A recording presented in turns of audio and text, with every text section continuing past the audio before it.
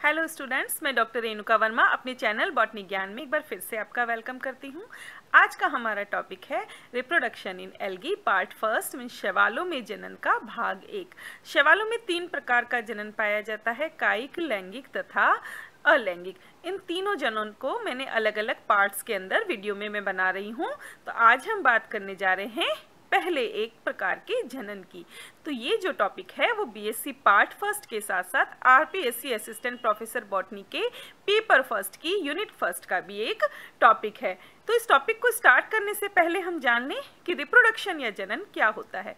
तो रिप्रोडक्शन एक ऐसी प्रोसेस है जिसमें एक ऑर्गेनिज्म अपनी ऑफस्प्रिंग का प्रोडक्शन करता है। हिंदी में अगर बात करें तो जो जनन है, वह एक ऐसी प्रक्रिया है जिसमें एक सजीव अपनी संतति का निर्माण करता है। ये जो जनन है, शैवालों में यहाँ हम बात कर रहे हैं तो शैवालों में ये जो जनन है, उसमें फेवरेबल कंडीशन के अंदर, यानी कि दशाएँ जब इनके अनुकूल होती है, उस दशा में शैवाल जो है, वो कायिक तथा अलैंगिक जनन करती है। लेकिन जब दशाएँ जो हैं, वो फेवरेबल नहीं होती अनुकूल नहीं होती तो उस कंडीशन में जो शेवाल है वो जनन लैंगिक प्रकार का करती है। तो रिप्रोडक्शन की जो टाइप है, वो आपको फ़र्स्ट स्लाइड से ही समझ में आ गए होंगे कि एल्गी के अंदर या शेवाल में तीन प्रकार का जनन पाया जाता है, जो है vegetative asexual and sexual means कायिक जनन, अलैंगिक जनन तथा लैंगिक जनन। इस वीडियो में हम बात करने जा रहे हैं वेजिटेटिव रिप्रोडक्शन या कायिक जनन की। कायिक जनन जो है, वो शैवालों का सबसे सामान्य मेथड है जनन का। यानी कि शैवाल जो हैं, उनमें सबसे ज़्यादा जो जनन का प्रकार पाया जाता है, वो कायिक जनन होता है।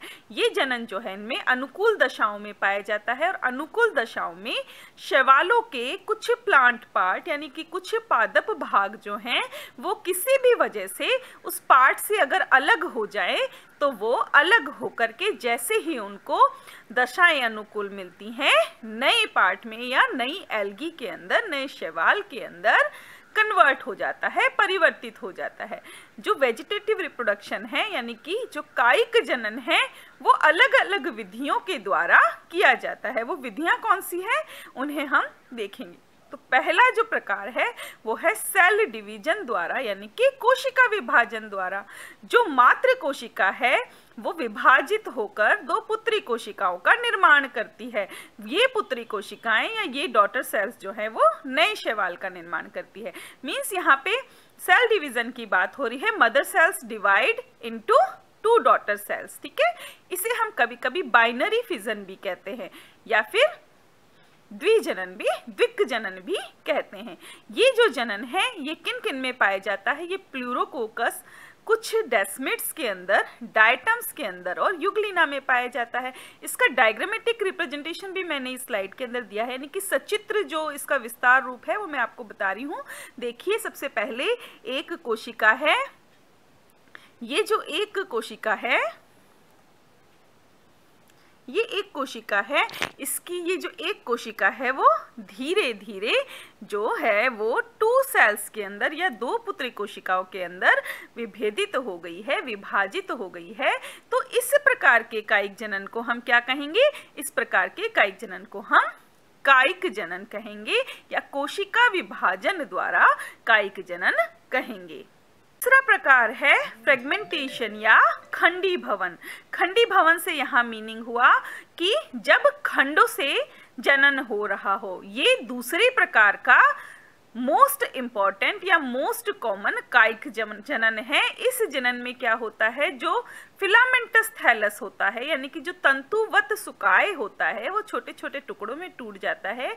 और ये जो प्रत्येक खंड है, ये प्रत्येक खंड एक नए सुकाय को बनाने की क्षमता रखता है। मीन्स इनमें कैपेबिलिटी होती है कि ये एक फ्रेगमेंट से कंप्लीट न्यू थैलस जो है वो फॉर्म हो जाए। ये किस वजह से होता है? ये होता है टोटीपोटेंसी की वजह से। ये प्लांट सेल का एक ऐसा कैरेक्टर होता है जिसमें एक पादप कोशिका में पूरा का पूरा प्लांट बॉडी डेवलप करने की क्षमता होती है। इसके कॉमन एग्ज़ाम्पल है, यानी कि किस किसमें इस प्रकार का जनन पाया जाता है? तो एग्ज़ाम्पल है Ulothrix Spirogyra Oedogonium Zygnema and Oscillatoria. ये खंडी भवन जो है, वो कभी कभी कॉलोनीज में भी पाया जाता है। जैसे ब्लू ग्रीन जो एल्गी है, नील हरित शैवालों में पाया जाता है, जैसे एपोन्थेसी तथा नॉस्टॉक। ये देखिए, बेसिक रीजन फॉर फ्रेगमेंटेशन, यानी कि खंडी भवन के कारण क्या है, किस वजह से जो थैलस है, वो टुकड़ों में या खंडों में विभेदित होता है। इसका जो पहला कारण है, वो है due to strong currents of water algae जो है, शैवाल जो है, वो ज़्यादातर कैसी होती है? जलीय होती है एक्वेटिक होती है। तो एक्वेटिक होती है तो वहाँ जल जो है, जहाँ ये पाई जाती है, वहाँ पे वाटर करंट्स पाई जाती हैं। जल की धाराएँ पाई जाती हैं। तो कभी कोई धारा अगर तेज़ी से आती है तो उस धारा से इसका जो थैलस है, वो खंडों में टूट जाता है। दूसरा है मैकेनिकली दे आर इंजर्ड यानी कि किसी भी चीज़ से अगर ये टकरा जाते हैं तो ये टुकड़ों में टूट जाते हैं। तीसरा है due to increase turgor pressure in adjacent cell turgor pressure बोलते हैं स्फित दाब को, जो जल के अवशोषण की वजह से या वाटर एब्जॉर्प्शन की वजह से होता है। तो अगर किसी पास की कोशिका के अंदर ये जो टर्गर प्रेशर है, वो बढ़ जाए तो टर्गर प्रेशर बढ़ने से क्या होता है? सेल अपनी साइज़ में इंक्रीज होती है, अपने आयतन में वृद्धि करती है। तो उससे आगे वाली सेल के ऊपर प्रेशर पड़ता है और ये खंडों में टूट जाती है। और लास्ट है सी एनिमल्स यानी कि जो जीव जंतु पाए जाते हैं, जो एनिमल्स समुद्र में पाए जा रहे हैं एक्वेटिक एनवायरमेंट में पाए जा रहे हैं, उनके कारण भी जो खंडी भवन है वो हो सकता है। इसके बाद है थर्ड जो मेथड है वो है हार्मोगोन्स फॉर्मेशन यानी कि हार्मोगोन के निर्माण के द्वारा। जब ट्राइकोम्स जो हैं वो छोटे खंडों में टूटता है और ये खंड जो हैं, वो दो या उससे अधिक कोशिकाओं युक्त होते हैं। टू और मोर सेल्स वाले जो स्मॉल पीसेस होते हैं, इन पीसेस को हम हार्मोगॉन्स कहते हैं। जो हार्गोमो सॉरी जो हार्मोगॉन है, वो एक नया प्लांट डेवलप करने की क्षमता रखता है कैपेबिलिटी रखता है। इसके एग्ज़ाम्पल हैं ऑसिलेटोरिया एंड नोस्टॉक हार्मोगोनिया जो है, वो हेटेरोसिस्ट की जगह पर भी बन सकता है। देखिए, यहाँ पर डायग्राम में ये चीज़ शो हो रही है। ये किसका डायग्राम है? ये ऑसिलेटोरिया का डायग्राम है। इस डायग्राम में आप देखिए, ऊपर नेक्रिडियम डेड सेल्स यहाँ पर प्रेजेंट हैं। तो ये नेक्रिडियम डेड सेल्स एंड इसके नीचे यहाँ पर ये जो कॉन्केव डिस्क है इसके जो पार्ट हैं वो अलग अलग हो जाते हैं और हॉर्मोगोन्स का फॉर्मेशन करते हैं। हॉर्मोगोन जो है वो सिंपल खंड नहीं होते स्पेशल खंड होते हैं। देखिए आप इसको इस तरीके से भी समझ सकते हैं। इस चित्र को आप ध्यान से देखिए। यहाँ पर जहाँ पर आ, कुछ एक कुछ इस तरीके से उत्तल और अवतल गोलाकार संरचनाएँ बन गई हैं। ये संरचना जो है वो पूरी की पूरी हॉर्मोगोन होती है।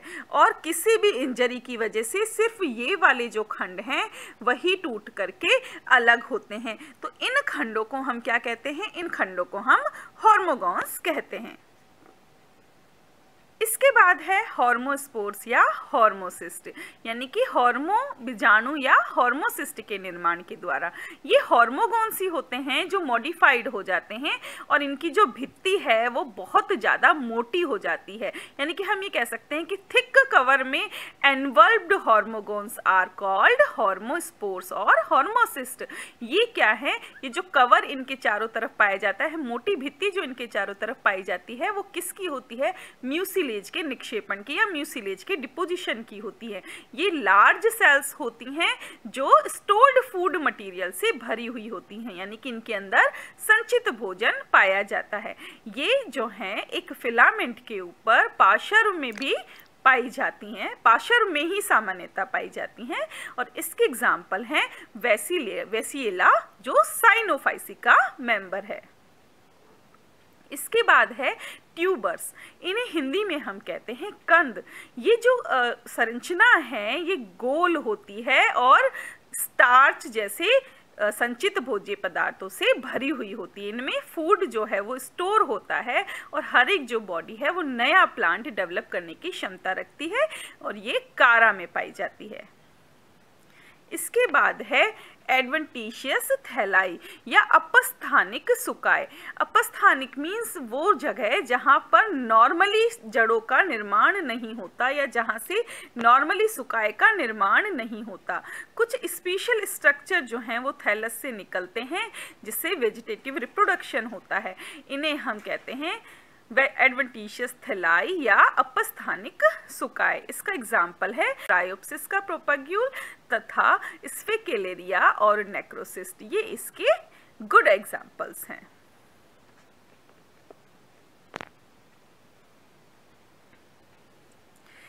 इसके बाद है बल्बिल्स के द्वारा।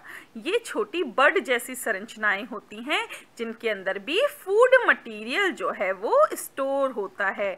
जो ये हैं, वो कहाँ मिलती हैं? ये कारा के अंदर जनरली पाई जाती हैं और कारा के तने और उनकी राइजॉइड्स के ऊपर डेवलप होती हैं, विकसित होती हैं। इस प्रकार की प्रत्येक बल्बिल के अंदर ये कैपेसिटी होती है कि वो नए कारा के प्लांट को डेवलप कर सकती है। नीचे जो है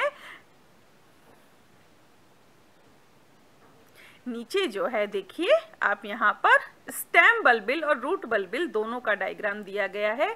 पहला जो है वो स्टेम बल्बिल है, यानी कि ये तने के ऊपर डेवलप हुए बल्बिल हैं। और दूसरे जो हैं, वो रूट बल्बिल हैं, यानी कि मूल के ऊपर राइजॉइड के ऊपर डेवलप हुए बल्बिल हैं।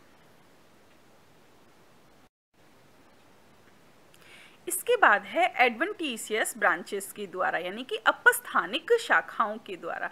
ये जो शाखाएँ हैं या जो ब्रांचेस हैं, वो प्रोटोनिमा की तरह दिखाई देती हैं और कहाँ पर ये नॉर्मली जो है कारा के राइजॉइड में डेवलप कर, होती हैं। और अगर ये किसी भी वजह से थैलस से या प्लांट से अलग हो जाए तो नए प्लांट को बनाने की कैपेबिलिटी रखती है। ऐसे जो स्ट्रक्चर हैं, वो डिक्ट्यूटा और फ्यूकस के सुकाय में भी पाए जाते हैं। देखिए एडवेंटिसियस ब्रांचेस का मैंने नीचे की तरफ़ डायग्राम या चित्र भी पोस्ट किया है, जिसे आप देख करके इजीली समझ सकते हैं कि ये अपस्थानिक शाखाएँ जो हैं, वो देखने में कैसी लगती हैं। इसके बाद है एमाइलम या स्टार्च स्टार्स इन्हें हम एमाइलम स्टार्स भी एमाइलम स्टार्स भी कहते हैं और स्टार्च स्टार्स भी कहते हैं। तारे जैसी स्ट्रक्चर होती है स्टार जैसी शेप के कारण इनको स्टार्स वर्ड दिया गया है। इनके अंदर अमाइलम जो है वो फ़ूड के रूप में स्टोर्ड होता है, इसलिए इनको हम अमाइलम स्टार्स कहते हैं। ये जो स्टार्ट स्टार्स हैं, वो मल्टी सेल्यूलर होते हैं मीन्स बहुकोशिकीय होते हैं स्टार शेप के होते हैं फ़ूड मटेरियल से भरे हुए होते हैं और मेनली ये कारा के अंदर देखे जाते हैं।